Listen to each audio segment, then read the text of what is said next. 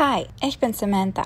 Als ich in die Oberstufe kam, fühlte ich mich zunächst super wohl und dachte, es wäre ein fantastisches neues Kapitel in meinem Leben. Ich konnte neue Freunde kennenlernen, neue Dinge erleben und hoffentlich würde ich beliebt sein bei den anderen. Aber wie sich herausstellte, war das schwieriger als ich dachte. Weißt du, vorher war ich nicht gerade das beliebteste Mädchen in meiner Stufe. Klar, ich hatte ein paar Freunde, aber irgendwie fühlte ich mich auch ignoriert und schien den Leuten egal zu sein. Das wollte ich nicht noch einmal in der Oberstufe erleben. Auch wenn ich ziemlich optimistisch war, was die neue Stufe anging, merkte ich doch schnell, dass sich im Gegensatz zu vorher nicht wirklich viel verändert hatte. Irgendwie wurde ich nicht richtig warm mit den anderen. Es schien so, als würden alle anderen mich für ein durchschnittliches oder sogar langweiliges Mädchen halten. Also überlegte ich, wie ich mehr Aufmerksamkeit von den anderen Leuten in meiner Schule bekommen könnte. Ich fing an, meinen Klamottenstil zu verändern. Dabei probierte ich neues Make-up aus oder änderte meine Frisur. Ich trug andere Kleidung und obwohl ich sehr schüchtern war, ging ich auf andere Leute zu und redete mit ihnen. Damit machte ich zwar kleine Fortschritte, aber das ging mir alles noch nicht schnell genug. Die Ergebnisse waren eher mäßig. Was könnte ich denn noch unternehmen? fragte ich mich. Was würde mich so cool wirken lassen wie Beverly, der Star unseres Cheerleader-Teams, oder Allison, die mit dem Kapitän der Fußballmannschaft zusammen war? Ich zerbrach mir meinen Kopf darüber, aber mir fehlten die Ideen.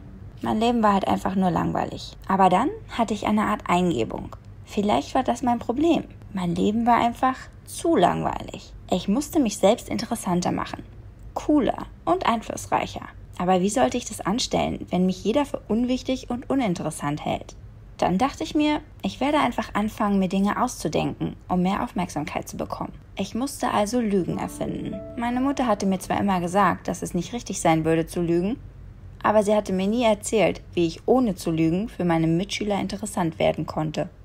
Also beschloss ich, meine neue Theorie einmal zu testen. Am Anfang wäre es sicher besser, kleine Lügen zu erzählen, damit die Leute mir glauben würden und um zu schauen, ob ich dadurch mehr Aufmerksamkeit bekam. Eines Morgens, als ich in der Schule ankam, sah ich ein paar ziemlich beliebte Mädels zusammenstehen. Sie sprachen über den neuen Song von Justin Bieber und schienen ihn zu mögen. Ich kannte eins der Mädchen und ging selbstbewusst auf die Gruppe zu. Ganz cool bleiben, sagte ich zu mir, als ich auf sie zuging. Sie werden dir schon glauben. Auf einmal stand ich neben den fünf Mädels. Sie verstummten schauten mich an und wussten nicht wirklich, warum ich neben ihnen stand. Der neue Justin Bieber Song ist wirklich klasse, oder? Sagte ich. Ja, antwortete eine von ihnen. Ich stehe total drauf. Hab ihn seit einer Woche rauf und runter gehört. Die anderen Mädels schauten mich nur an, weil sie nicht wussten, was ich bei ihnen wollte. Das Mädchen, das ich kannte, schaute mich überrascht an. Mein Herz schlug schneller, denn ich war kurz davor, sie allesamt anzulügen. Ich sammelte all meinen Mut zusammen, öffnete meinen Mund und sagte Wisst ihr, ich habe ihn letztes Jahr im Juli getroffen. Er hat mir ein Autogramm gegeben und gefragt, ob wir was unternehmen wollen. Hat er nicht wirklich getan, sagte Karen, die sowas wie die Anführerin der Gruppe war, weil sie so beliebt war. Ist das dein Ernst? Klar, erzählte ich weiterhin meine Lüge und zeigte ein Foto von uns zusammen. Er sieht richtig gut aus, wisst ihr? Würde man gar nicht denken. In Wirklichkeit war dieses Foto entstanden, als ich ihn durch Zufall aus einem Auto hatte steigen sehen. Ich hatte damals schnell ein Foto gemacht. Wo hast du ihn getroffen? fragte ein anderes Mädchen, die nicht ganz glaubte, dass ich die Wahrheit sagte. Mist, was sage ich denn jetzt? Jetzt musste ich mir was Glaubhaftes einfallen lassen. Ich war in so einem angesagten Sushi-Laden, aber irgendwie hatte mein Handy keinen Empfang, also bin ich kurz rausgegangen. Er war durch Zufall in einem Restaurant nebenan und hatte dasselbe Problem. Stand auch draußen und versuchte mit seinem Handy klarzukommen. Oh mein Gott, sagte Karen. Und was ist dann passiert? Naja, erzählte ich weiter und fing an, mich wohler zu fühlen. Irgendwie konnte ich fast kein Wort rausbringen. Ich meine, es war Justin Bieber. Aber ich habe dann Oh mein Gott, du bist Justin Bieber rausgebracht. Er schaute von seinem Handy auf und sagte, ja. Jetzt waren sie alle überzeugt von meiner Geschichte und lachten und kreischten durcheinander. Also fuhr ich fort. Ich wusste, dass ich nicht viel Zeit hatte. Er würde ja nicht ewig dort stehen. Ich wollte unbedingt ein Autogramm. Meine Handtasche hatte ich dabei und da war ein Stift drin, aber ich hatte nichts zum Unterschreiben. Also fragte ich, ob er auf meiner Handyhülle unterschreiben konnte. Klar, sagte er. Also gab ich ihm Stift und mein Handy. Er gab mir ein Autogramm und dann sagte er, wir könnten ja später noch was zusammen unternehmen. Die Mädels konnten es gar nicht fassen. Sie wollten unbedingt diese Handyhülle sehen. Und jedes Mal, wenn ich an diesem Tag eine von ihnen sah, fragten sie nach mehr Informationen über ihn. Ich war überglücklich. Als ich an dem Tag von der Schule nach Hause kam, wusste ich, dass ich genau so weitermachen musste. Das war meine Chance, meine Aufmerksamkeit zu bekommen. Es war unglaublich. An diesem Abend besorgte ich mir eine alte Handyhülle, nahm einen Stift und kritzelte Justin Bieber darauf. Es sah ziemlich unordentlich aus, eben genauso wie Jungs unterschreiben würden. Als ich sie am nächsten Tag mit in die Schule brachte, wurde ich von Karen eingeladen, mit ihnen zusammen Mittag zu essen. Wir waren seit mehreren Jahren auf der gleichen Schule, aber sie hatte bis dahin nie mit mir gesprochen, geschweige denn mich zum Essen eingeladen. Als ich sie so sah, wie sie die Hülle voller Bewunderung begutachtete, wusste ich, dass ich auf dem richtigen Weg war. In den nächsten Wochen erzählte ich weiter meine Lügen, um meine Beliebtheit zu behalten. Ich erzählte den Sportlern aus meinem Chemiekurs, dass ich beim Finale der World Series im vergangenen Jahr dabei gewesen war. Den Strebern sagte ich, ich hätte jede Folge von Big Bang Theory geschaut. Und ein paar Mädels in meinem Chor sagte ich, dass ich durch eine genetische Veränderung in der Lage war, so zu singen wie Adele. Alles in allem lief es ziemlich gut. Aber eines Tages habe ich es einfach zu weit getrieben und du wirst nicht erraten, was passiert ist. Es fing an einem Freitagnachmittag an, als ein paar der beliebten Schüler darüber redeten, nach dem Unterricht an den Strand zu gehen. Brian, dieser süße Lacrosse-Spieler, hatte angeblich eine Klippe gefunden, von der aus man ins Wasser springen konnte. Ich wollte so unbedingt bei diesem Trip dabei sein. Es wäre die Gelegenheit für mich, um endlich in den Kreis der beliebten Schüler aufgenommen zu werden. Aber da ich mehr so eine Randerscheinung in dieser Gruppe war und nicht zum Kern gehörte, war nicht sicher, ob sie mich einladen würden. Also setzte ich wieder meine Superkräfte ein und log. Wisst ihr, sagte ich zu der Gruppe, ich bin schon einmal von Klippen gesprungen. Damals, auf den Malediven, als ich mit meinem Cousin während der Sommerferien dort war. Wir haben damals gelernt, Saltos zu machen. Ich kann euch gern was beibringen. Ernsthaft? sagte Brian. Du kannst Saltos machen? Wie krass. Einer seiner Freunde stimmte mit ein und sagte, hey, du musst auf jeden Fall dabei sein. Ich hatte es geschafft. Mein komplett erlogenes Talent fürs Klippenspringen hatte ihr Interesse geweckt und sie wollten mich dabei haben.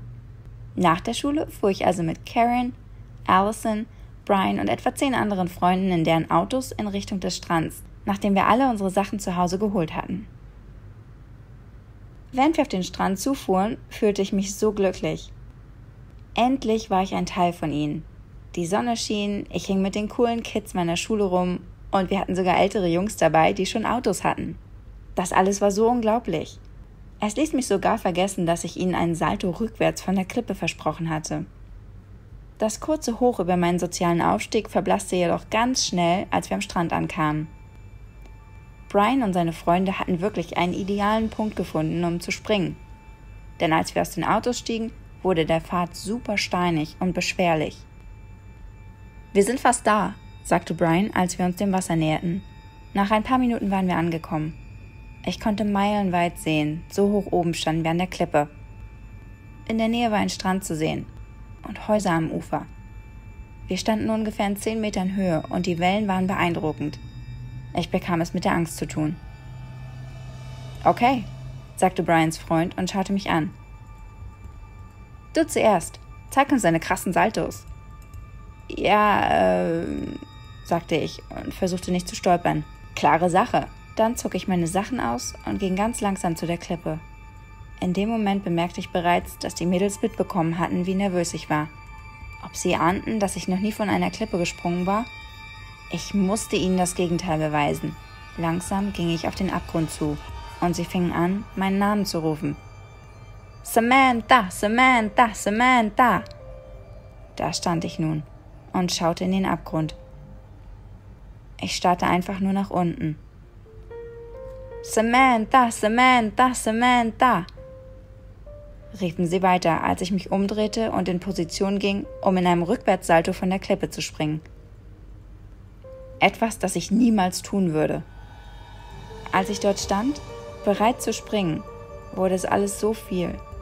Diese Lügen über meine Salto-Künste waren wie ein Ballon, die mich immer weiter nach oben getragen hatten. Aber jetzt fühlt es sich an, als hätte irgendjemand diesen Ballon platzen lassen. Mir wurde schwindlig und auf einmal brach ich einfach zusammen. In genau dem Moment, als ich springen wollte, brach ich zusammen und fiel aus 10 Metern Höhe in das Wasser. Anstatt einen grazilen Salto hinzulegen, lieferte ich einen Bauchplatscher ab. Glücklicherweise brachte mich das eiskalte Wasser sofort wieder zu Bewusstsein, aber ich hatte Schwierigkeiten zu schwimmen. Brian und seine Freunde sahen dies und sprangen sofort hinterher, um mir zu helfen. Nach ein paar Minuten zogen sie mich endlich an Land.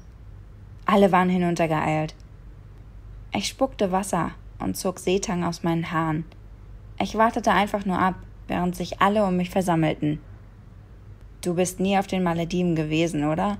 brachte Brian schließlich hervor. Hm, naja, nein, nicht wirklich, sagte ich, und sie alle schüttelten die Köpfe vor Enttäuschung. Dann ging sie zurück auf die Klippe. Die Katze war aus dem Sack. Meine Lügen hatten mich endgültig eingeholt, denn ich hatte es zu weit getrieben. Von da an log ich nicht mehr so häufig. Ich wollte nicht wieder in so einer Situation enden und von einem Cliff stürzen. Aber Karen glaubt mir bis heute, dass ich mit Justin Bieber rumgehangen habe. Und das ist es, was zählt. Hat dir meine Geschichte gefallen? Lass mich deine Meinung in den Kommentaren wissen und vergiss nicht, unseren Kanal zu abonnieren.